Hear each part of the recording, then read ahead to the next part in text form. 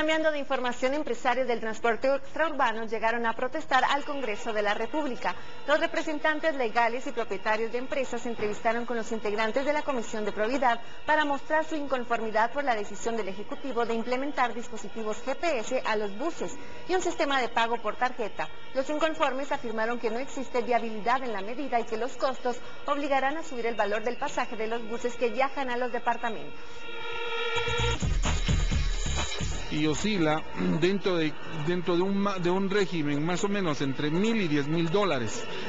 tanto el costo de, de, la, de adquisición del equipo y el mantenimiento del mismo, porque el Estado no se está comprometiendo a mantenerlo. Entonces esto se traduce en que se va a tener una alta tecnología, hay que mantener esa tecnología y luego